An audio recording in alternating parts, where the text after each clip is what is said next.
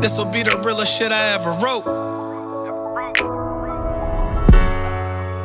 Out here with a new perspective, something different from what you expected. Fuck the world, I guess that's too aggressive. I got love for some, but shit, it's never wrong to have a few exceptions. I'm too impressive with this rap shit. I'm much better than that whack shit, and more improved since my last shit. I'm never sorry, I'm cooking like James Harden. I'll have a listening party while the haters pick my track list. They got questions and ask quick, cause I'm busy. Tell the higher ups that I'll be there in a jiffy. I went away from leeches and people I thought were iffy. And now I'm getting texts from exes saying they miss me. Shit, I wish that I could say it back. But I can't cause I'm in love with the music and I'm okay with that. Shit, I left and never made it back. Now they hear a track about them, go have a listen, but then they play it back. Swear, this'll be the realest shit I ever wrote. And be the realest shit you ever quote.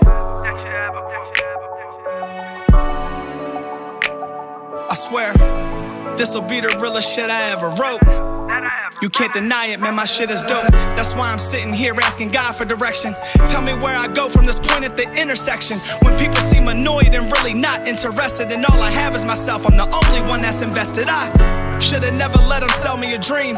But shit, they wanna call it a team, like what the fuck do they mean? I know I'm hot, so I'm just blowing off steam. But now it's time to take it to the extreme. I'm done waiting. Doubt starts to creep in, I know you're the one, Satan. I maximize my time, I'm knowing that some wasted. So I'ma face it for now, embracing my struggle. Only the strong survive, and I'm terrorizing this jungle. When everything came down, I rose from ash and the rubble. I flex and show my muscle to niggas thinking I'll crumble. Instead of writing rhymes, I'm swiping right on my bumble. The hardest part is my darkness and find the light in my tunnel. I'm saying, saying, I swear, this'll be the realest shit I ever wrote, and be the realest shit you ever quote. I swear, this'll be the realest shit I ever wrote. You can't deny it, man, my shit is dope.